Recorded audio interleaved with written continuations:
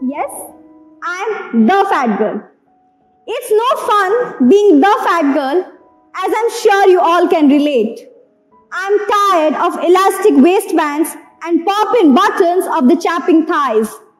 And the oh my my's, shopping in the oversized women's department and being the fattest one at a party. I have had it.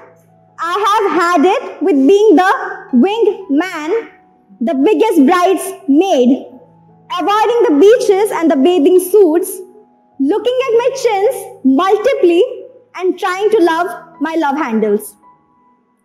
It's no fun when someone asks, when the baby's due? when someone is outright rude and comments on how fat you have gotten. Sadly, sadly, I have learned that being obese gives people permission to treat you like you have no fucking feelings. Every girl, every girl wants to fit into that little black dress to feel good about how she looks, to get compliments and to dress to impress by squeezing bulges into the latest fashions is no easy task.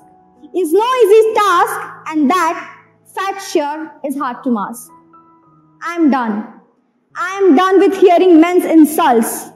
I have learned never to ask, honey, do I look fat? I have heard, I leave you if you get fatter more than once. And some boyfriends of mine have tried to tell me how to eat, watching me every moment, every moment to see if I'll cheat.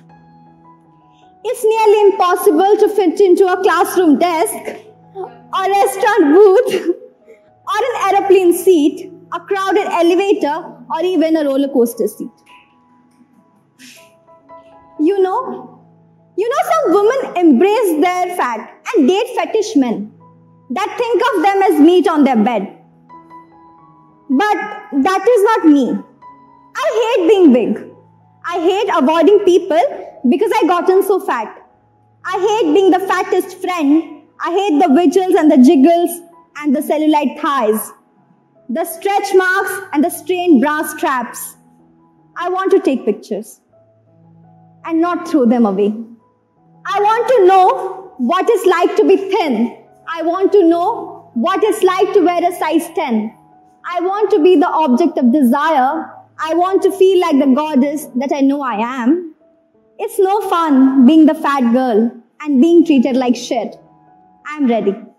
I'm ready to shed those layers of protection, those layers of self hate, and do this for me.